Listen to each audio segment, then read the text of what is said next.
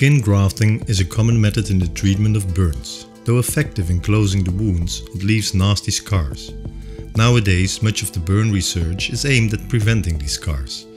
Tissue engineering plays an important role in this research. Professor Esther Middelkoop, burn researcher, explains how. Tissue engineering, that means a combination of materials, biomaterials that can be degraded, and cells to replace any organ of the human body. Uh, and for skin, that means that we have a combination of biomaterials that can be synthetic or biological, um, and a combination with dermal cells uh, and epidermal cells.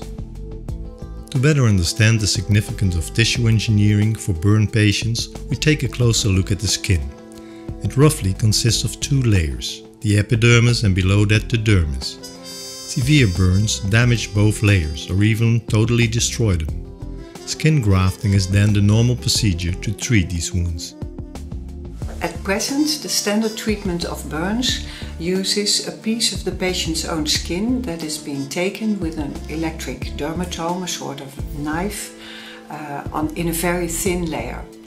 But in doing that, we actually lose the dermal uh, function of the skin, and that is why it actually becomes a scar. To improve the quality of the scar, adding a dermis is essential. Nowadays, biodegradable scaffolds are often used as a dermis substitute. They consist of proteins often collected from animal skin. After adding a special fluid, the artificial dermis is placed on the burn. On top of that, the graft is placed. It restores the elastic properties of the skin and it's a scaffold for the skin cells to grow into. At present, uh, we have actually proof that using a dermal substitute in uh, scar treatment or in wound treatment actually will lead to a better quality of uh, the scar. So we can demonstrate that uh, the pliability and the surface roughness of the scar is better with a dermal substitute than without. But in order to improve the quality of the uh, wound healing even more, because these materials still leave a scar, we can use more components of the patient's own skin in uh, the wound healing process. And for that we need actually to culture both the epidermal cells as well as the dermal cells from the patient. In order to make such a fully tissue engineered skin construct, we need to have a little bit of time. So at the first instance, a small piece of the patient's own skin is harvested from any place where this is possible. And that is taken to a specialized laboratory.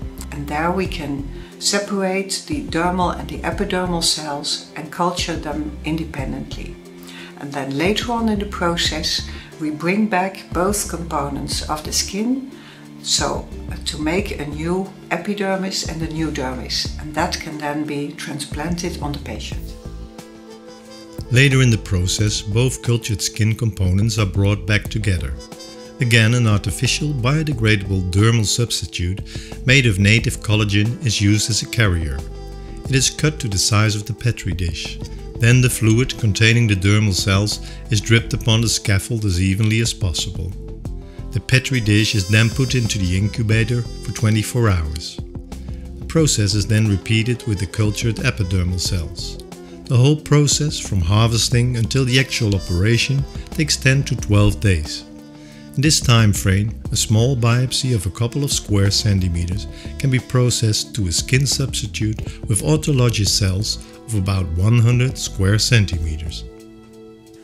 So the future developments right now are that we will start uh, using these cell-seeded constructs in clinical trials to see if we can actually improve the scar quality by using these cells. And then the further developments will be in the laboratory to try and make new hair follicles and sweat glands, for example. And another development will be that we can start using cartilage to repair defects on noses and ears.